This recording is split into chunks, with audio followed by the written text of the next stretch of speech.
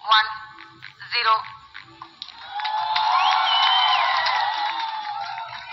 plus five seconds.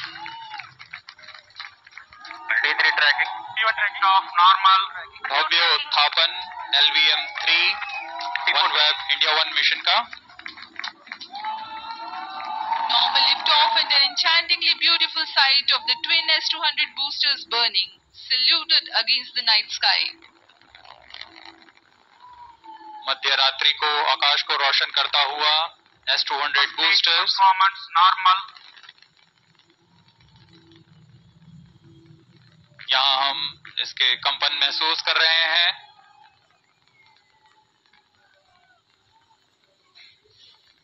Steering the night sky, the LVM3 N2 mission moves forward.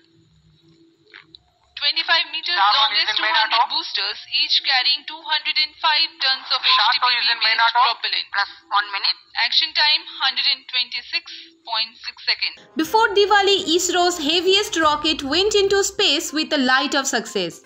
The rocket was launched from the Satish Dhawan Space Center in Sriharikota at exactly 12:07 am on the juncture of Saturday and Sunday. Around 36 satellites have been launched simultaneously in this heaviest rocket. Atmanirbhar Bharat made history once again with a successful launch with a payload of 5796 kgs. All 36 satellites belonged to Britain. Due to Russo-Ukraine war pushing Russia to the corner aloof from other countries. Getting this opportunity, India beat Moscow on that occasion. ISRO informed that the launch of the country's heaviest rocket LV-M3-M2 or OneWeb India 1 carrying 36 British satellites was successful.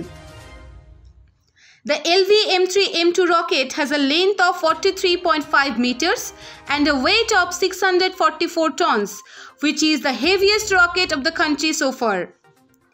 This rocket is capable of placing a 4-ton satellite into geosynchronous transfer orbit GTO.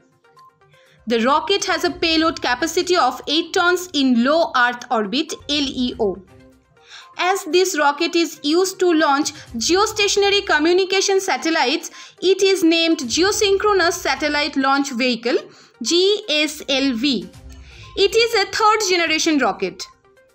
LV-M3-M2 is also called GSLV-M3. Its main task is to circumambulate OneWeb satellites in low Earth orbit. Within 19 minutes of launch, ISRO's LV-M3-M2 connected 36 small broadband communication satellites of Network Access Associates Limited to LEO. Note that OneWeb Bharat is a joint venture of satellite organization between Bharti Global and the British government. ISRO has launched satellites by Pace rockets several times before, but they were relatively light. Until now, ISRO had to rely on Western countries to launch heavy satellites. But this time, India paved the way for its own space research in the world market by launching heavy commercial rockets.